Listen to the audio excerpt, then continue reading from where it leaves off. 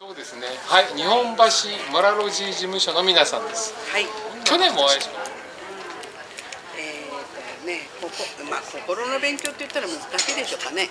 た。いや、その通りだと思いますよ。そうですか。はい。うん、心をやっぱり心を変えることによって人生が楽しくなるっていうそういうお話なんですけどね。そうですね。はいそれをどうやってどんな活動の中でやってらっしゃるんですか？そうですね。はい。あのいろんなのお勉強をあその都度はい。させてもらってるんです。はい。でついこの間もこちらではい。女性ばっかりのセミナーっていうお勉強会したんですね。はい。どんなテーマだったんですか？テーマは生きる生きる生きる喜び感謝の心ですね。うんはいはい、ええそのテーマで、なるほど。ええ大きなテーマは心が作る人生。はい。ここに書いてありますけどはいね。はいねそれのサブテーマが、はい生きる喜び感謝の心、いそのサブテーマで、えー20日の日先週今週の日曜日、ここの会場でやりました。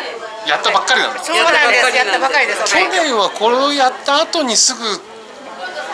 ブーケ祭りのちょっと後にやったんだよね。いやあのいつもねあのブーケ祭りの前の前。にやる。第三日曜日にやっております。じゃあ毎月第三日曜日なんだ。毎月じゃなくて毎年はい毎年。あそうなんだ。はいはい。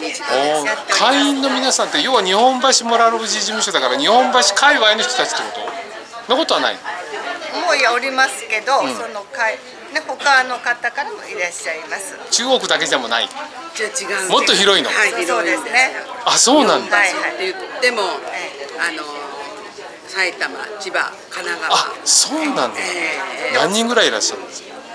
会員としては会員は200名200名ぐらいいますよね。日本橋だけでね200名ぐらいおります。200名ぐらい。あそうなんだ。でお勤めのお勤めの関係で、はい。他のところから日本橋の中央区でお仕事なさってる方もいらっしゃるので、えーいそうですよね。はいはい。そうですね。お住まいが住まいで日本橋って言ってもその皆さんの反転もなんか日本橋って書いてありますけどそれは何、はい事務事務所って言いますかね。ええ。ここの日本橋が拠点になってる事務所が日本橋にあるわけです。ああなるほど。日はい本橋に事務所があるわけです。はいでそこの拠点でお勉強会をしてるわけなんです。ああなるほどはい。じゃあそこに皆さんが集まって。はい。わかりました。私もあの心の問題っていうのはなかなかいろんな機会を作らないといろんなねきっかけを作らないとなかなか大変なんでまたそういう講演会のご案内もい。ただけたらと思います。はい。はい、毎年毎年ありがとうございます。はい。どうもありがとうございました。ありがとうございました。